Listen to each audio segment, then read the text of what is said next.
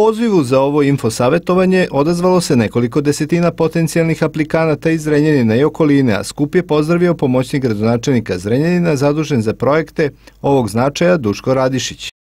Imamo priliku da naše institucije, organizacije, grad Zrenjanin, partneri dobiju informaciju iz prve ruke.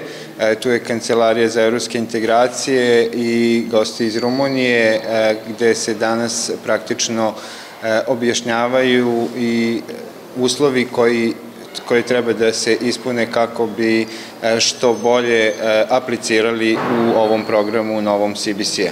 Grad Zrenjanin je i u prethodnim godinama uspešno radio ali, projekte, ali sada očekujemo E, mnogo e, veće sredstva e, i dosta infrastrukturnih projekata da budu podržani.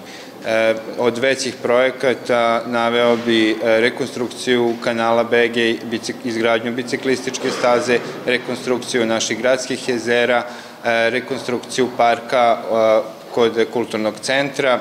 Rok za dostavljanje predloga projekata će biti do 15. januara 2016. godine, a 15. mart je rok za podnošenje strateških projekata kaže Elizabeta Stanimirov.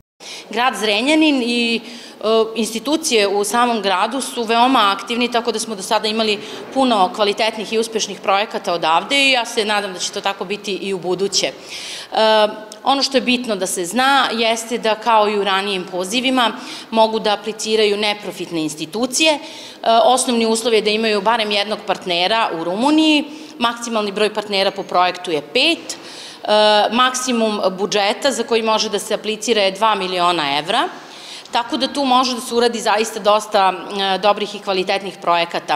Na raspolaganju će biti 74 miliona evra Evropske unije sredstava, od kojih će 22 miliona biti namenjeno strateškim projektima.